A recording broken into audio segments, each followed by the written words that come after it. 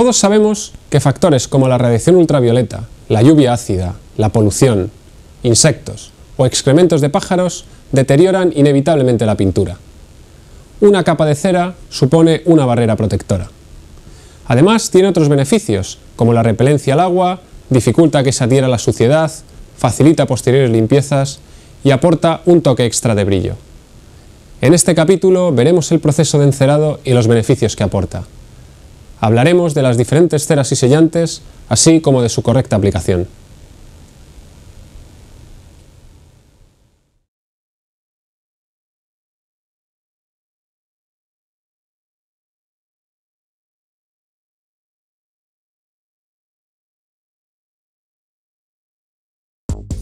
Ya que conocemos las distintas capas que forman nuestra pintura y los elementos que las pueden deteriorar, es el momento de añadir una barrera de protección entre las mismas y los agentes externos a través de una capa de cera.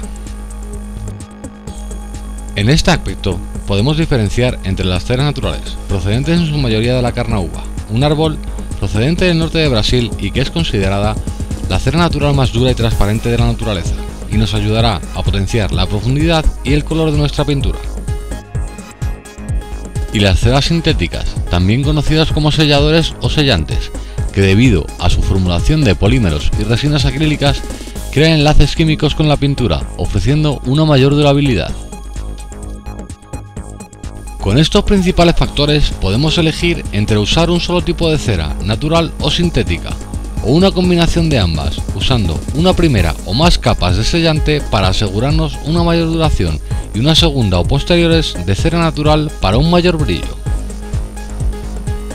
En todo caso, el primer efecto que notaremos será la repelencia al agua, así como la protección contra los agentes externos, evitando que la suciedad y los contaminantes se adhieran y facilitando posteriores limpiezas durante varios meses.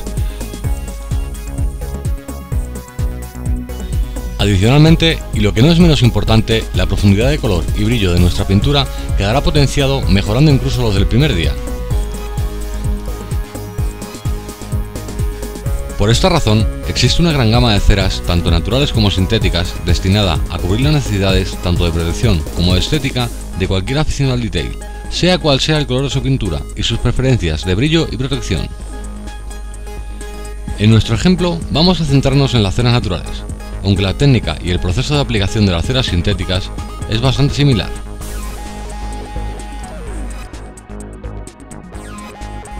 Como muestra un encerado en dos fases, vamos a usar en primer lugar un limpiador químico, con propiedades sellantes, que va a eliminar cualquier resto de tratamientos anteriores, contaminación leve o cualquier otra impureza sobre la pintura, además de cerrar los poros y que va a mejorar el agarre y la durabilidad de la posterior capa de cera. Como siempre, debemos partir de una superficie limpia y seca y abordar el proceso a la sombra, vertiendo una pequeña cantidad del producto sobre un aplicador con el que extenderemos sin apretar, creando una capa uniforme sobre la zona. Un truco, o más bien una norma, que debemos aplicar para todos los productos más o menos líquidos es que debemos agitarlos a conciencia antes de usarlos, especialmente en tiempo frío, ya que los distintos componentes de la fórmula pueden haberse sentado, separándose, y los resultados no ser tan óptimos como esperamos.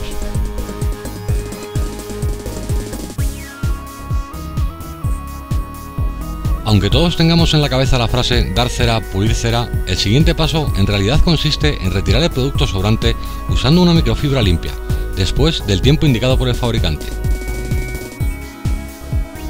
Es importante prestar atención en este punto, porque el tiempo de aplicación varía de una cera a otra, desde las que solo requieren unos segundos a las que debemos dejar actuar durante media hora, especialmente en el caso de los sellantes. No respetar estos tiempos, tanto por defecto como por exceso, puede resultar en que la aplicación no sea la correcta y por lo tanto los resultados no sean los deseados, o en una mayor dificultad a la hora de retirar el sobrante.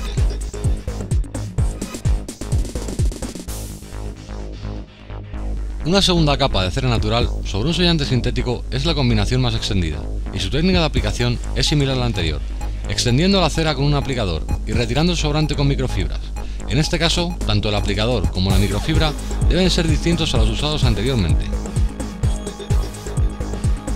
Dado que la mayoría de estas ceras vienen en forma de pasta, cogeremos una pequeña cantidad de cera con un aplicador y la extenderemos lo más homogéneamente posible. Igual que con otros productos, la cantidad que usaremos es mínima, ya que más cantidad de producto no significa mejor acabado, y especialmente para las ceras, lo que se pretende es extender el producto en una finísima capa. También debemos tener en cuenta la temperatura ambiente, ya que las ceras tienden a solidificarse a baja temperatura y en ese caso no sería posible su aplicación. Asimismo, dependiendo del tiempo de aplicación, debemos planificarnos para aplicar y retirar, siendo lo más recomendable realizar esta tarea por paneles e incluso por secciones de cada panel para evitar que se seque demasiado.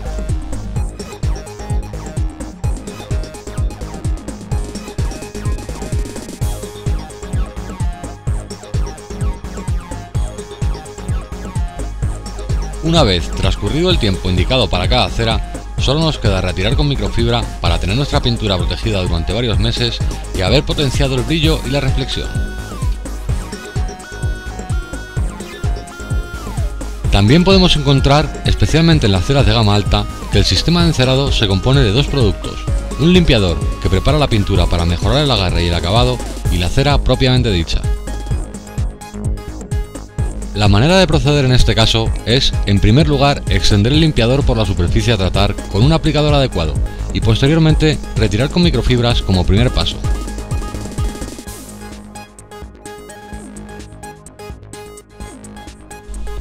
Ahora aplicaremos la cera de la misma manera que hemos visto anteriormente, aplicando una pequeña cantidad y extendiéndola lo máximo posible, dejando una capa uniforme,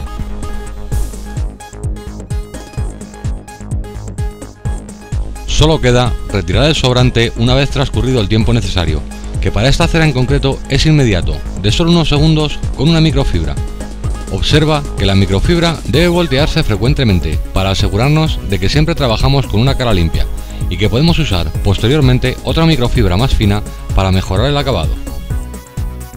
También cabe mencionar otro truco muy útil, y es utilizar siempre una microfibras para apoyar cualquier objeto que coloquemos sobre la pintura, con este sencillo gesto nos aseguraremos de evitar arañazos accidentales. Una vez encerado, además de la protección y el brillo, el efecto más destacable que notaremos será la repelencia al agua. Cualquier líquido sobre nuestra pintura resbalará debido al menor rozamiento con la superficie, y lo poco que quede lo hará en forma de perlas, un efecto conocido como beading, y que será el mejor indicador del estado de nuestra cera. Cuando este efecto empieza a desaparecer, la protección ofrecida por la cera también lo está haciendo, y es el momento de volver a encerar.